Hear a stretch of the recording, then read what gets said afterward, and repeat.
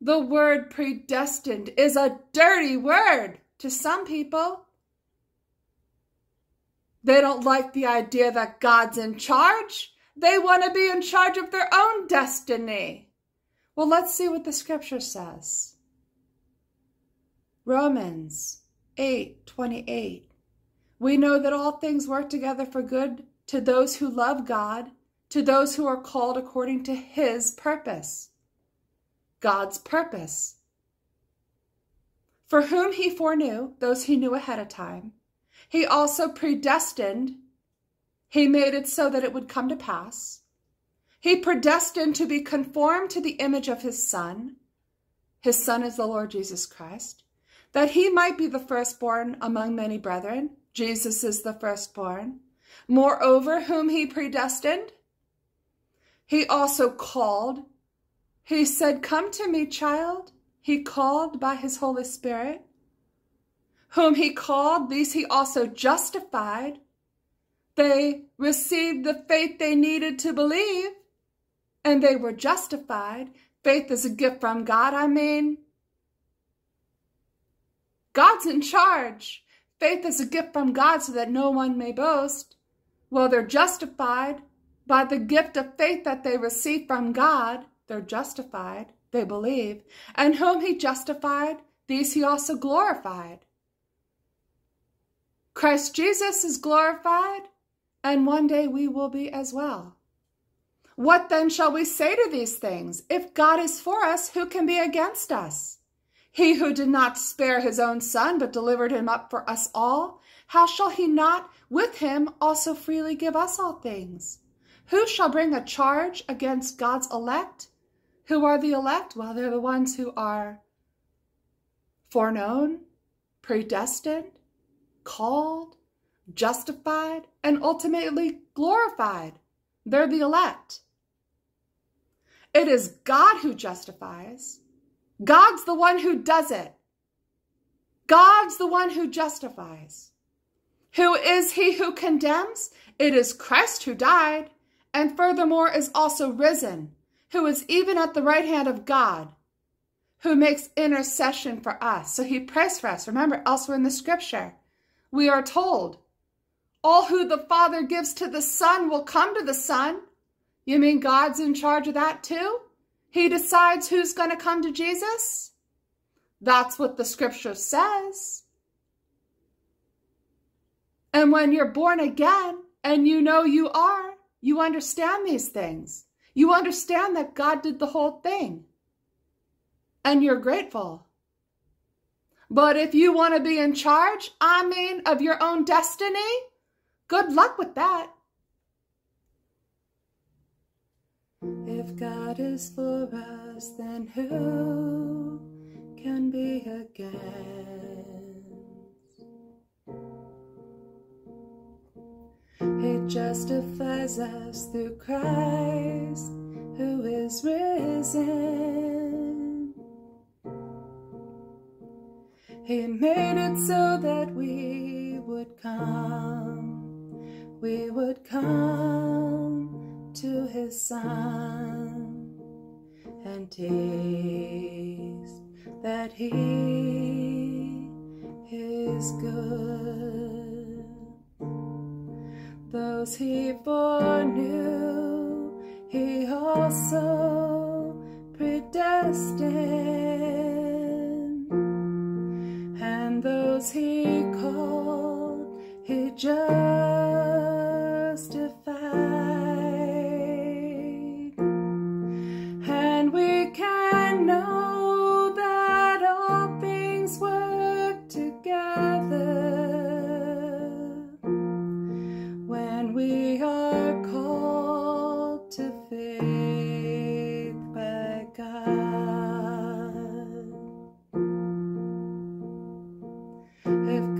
is for us, then who can be against?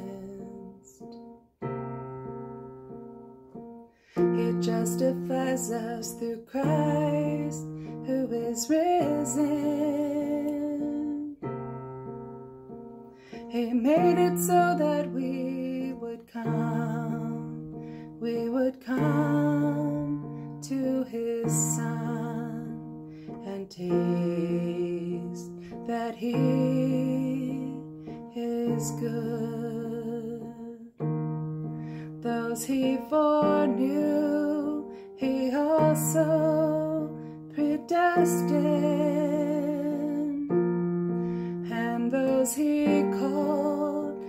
he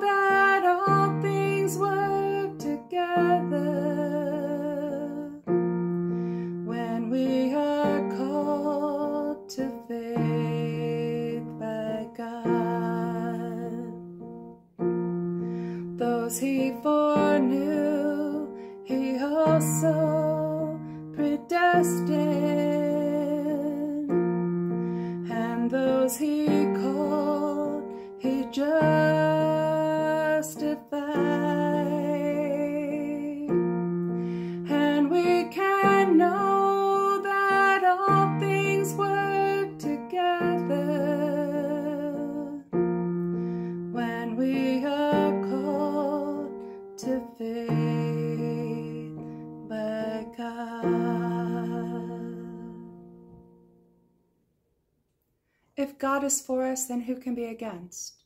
He justifies us. He justifies us through Christ who is risen.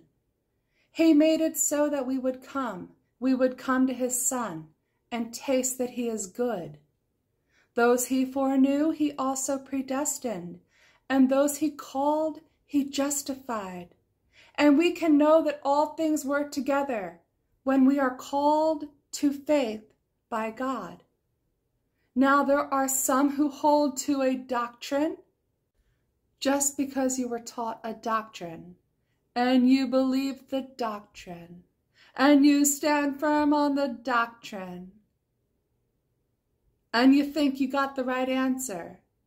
Well, remember, during the time of Jesus, the Pharisees thought they had the right doctrine too, and they stood upon it. And Jesus said, You're whitewashed tombs. You don't know anything. You search the scriptures, and in them you think you have life. So just because you hold to the correct doctrine doesn't mean you're justified, doesn't mean you're born again. I know some very mean spirited people who hold fast to the correct doctrine, but they're not filled with the love of God. They're religious.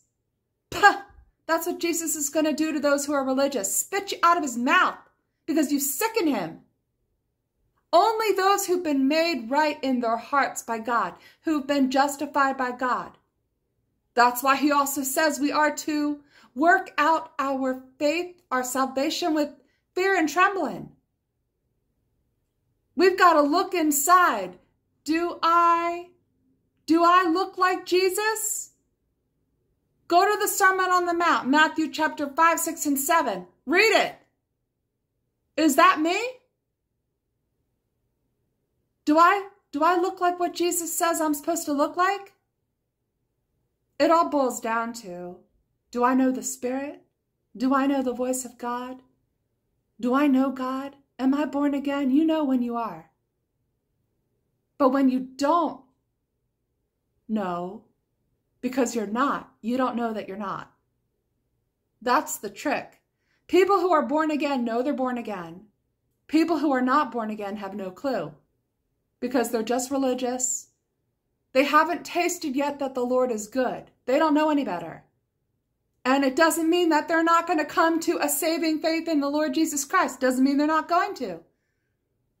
I would venture to say that most in the church probably will come to saving faith in Christ. But the church is full of people who follow a doctrine taught to them by man. And they can get behind that doctrine and say, yeah, that's the right doctrine. And they can be using that doctrine to slam other people against the wall because they've got the right doctrine, but they don't know the Lord. They're the ones who give Christianity a bad name. But nevertheless, all who the Father gives to the Son will come to the Son. Everybody who's going to be saved is going to be saved. That's a promise. And At one point, all of us who are born again, we're not. At one point, each of us was maybe religious, maybe just a unbeliever walking around, no care in the world for anything of God. Maybe even antagonistic, totally working for the enemy, maybe. But everybody who's been born again has a pre Christ story. What I was like before Christ and what I'm like now that I belong to Him. So work it out. Do you have a pre Christ story? Have you been changed?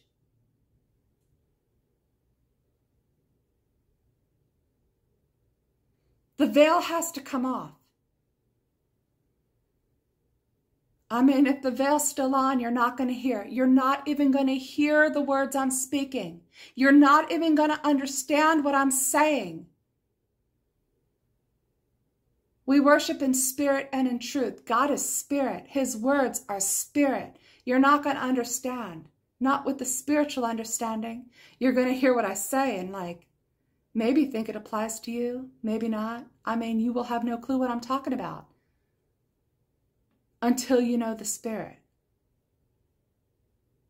But if you are one of the ones God foreknew, who's predestined, who's going to be called, who's being called, I mean, if you're listening to my song, God said everybody who hears my music is going to be saved. So if you just sat through that song, I believe you're going to be saved. Is that boasting of me? Is that me thinking I'm more highly than I am?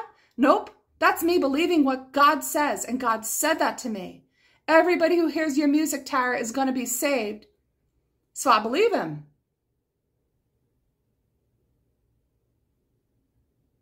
Maybe you're being called right now.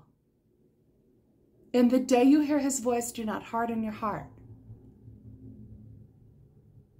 Say, Yes, God, and see what happens. I remember the days when I would have said, Yeah, I'm a Christian, but I was not born again. All right, God bless you.